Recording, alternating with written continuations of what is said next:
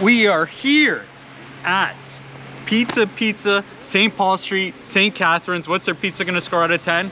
Let's find out. We got ourselves a large multi-grain pizza. $10.72. Okay. Interesting. Good distribution there. Interesting. Let's take a look. Okay. Not cut the greatest, but we got it. This is a little guy. Hmm. I ordered the regular crust. It looks pretty thin though.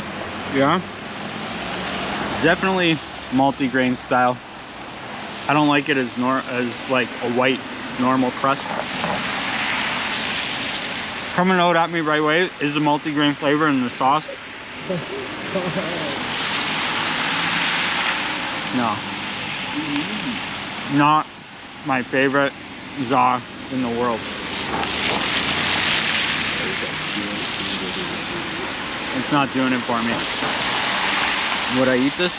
Sure, I am eating it. Would I buy it again? Not a chance.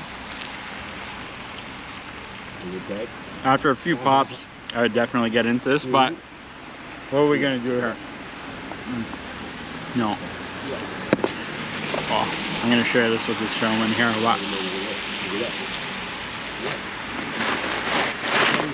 I'm gonna say a 2.3. Not my favorite pizza in the world, and that's review.